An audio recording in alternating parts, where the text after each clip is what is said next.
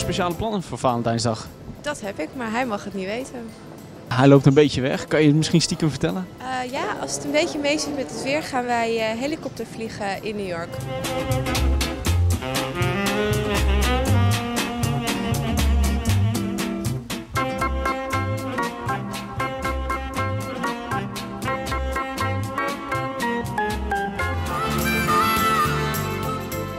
Yeah, I have some surprise for my girlfriend. Well, I decided just back to Europe and go to my country and tell them that we are ready to go to the Valentine's Day to Paris.